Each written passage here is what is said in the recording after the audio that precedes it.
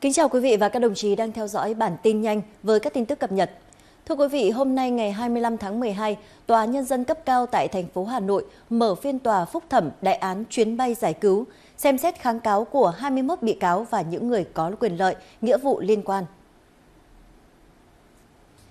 Đáng chú ý trước phiên tòa, cựu điều tra viên Hoàng Văn Hưng đã bất ngờ có đơn xin nhận tội, nộp lại 18,8 tỷ đồng khắc phục hậu quả. Ngoài ra bị cáo cũng có đơn xin được xét xử vắng mặt tại phiên tòa phúc thẩm. Người kháng cáo kêu oan là Trần Minh Tuấn, giám đốc công ty cổ phần xây dựng Thái Hòa, án sơ thẩm 18 năm tù. Còn lại 20 bị cáo xin tòa phúc thẩm xem xét giảm nhẹ hình phạt. Trước đó từ ngày 11 đến ngày 28 tháng 7, Tòa án Nhân dân thành phố Hà Nội xét xử sơ thẩm đối với 54 bị cáo về các tội đưa hối lộ, nhận hối lộ, môi giới hối lộ, lừa đảo chiếm đoạt tài sản và lợi dụng chức vụ quyền hạn trong khi thi hành công vụ trong vụ án chuyến bay giải cứu.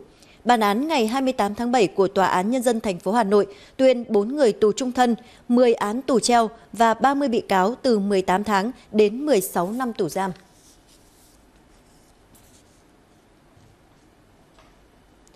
Đối tượng Vòng Nhật Phú vừa bị cơ quan cảnh sát điều tra công an tỉnh Đồng Nai tạm giữ về hành vi mua bán trái phép chất ma túy. Phú bị bắt quả tang khi đang có hành vi tàng trữ trái phép chất ma túy cùng với ba tăng vật là ba bánh heroin, một gói tinh thể màu trắng nghi là ma túy tổng hợp có trọng lượng khoảng 2 kg. Bước đầu Phú đã khai nhận tàng trữ số ma túy trên để bán dần cho các con nghiện.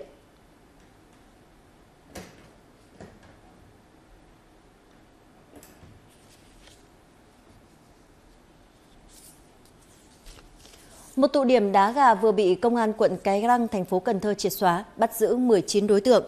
Tại hiện trường, lực lượng công an đã thu giữ số tiền hơn 60 triệu đồng, 19 điện thoại di động và 8 xe mô tô cùng với các loại tăng vật khác có liên quan.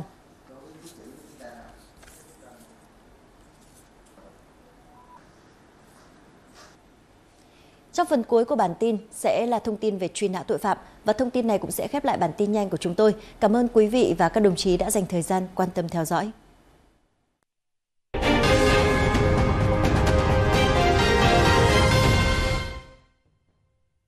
Kính chào quý vị và các bạn đến với tiểu mục lệnh truy nã.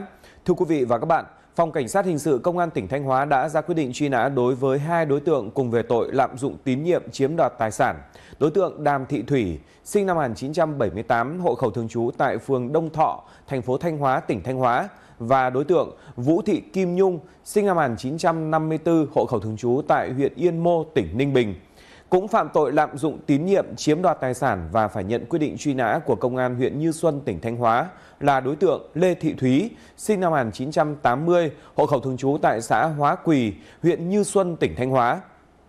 Dù với bất cứ tội danh nào thì tất cả các đối tượng vi phạm pháp luật đều phải chịu sự trừng trị bằng những bản án thích đáng.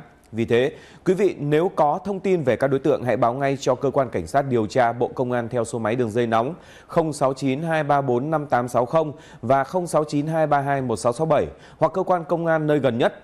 Mọi thông tin cá nhân của quý vị sẽ được bảo mật và sẽ có phần thưởng cho những thông tin có giá trị. Pháp luật sẽ xử lý nghiêm mọi hành động bao che, chứa chấp các đối tượng. Tuyệt đối không nên có những hành động truy đuổi hay bắt giữ các đối tượng khi chưa có sự can thiệp của lực lượng công an. Để đảm bảo an toàn, đó là điều quý vị cần hết sức lưu ý. Lệnh truy nã do truyền hình Công an Nhân dân và Văn phòng Cơ quan Cảnh sát điều tra Bộ Công an phối hợp thực hiện.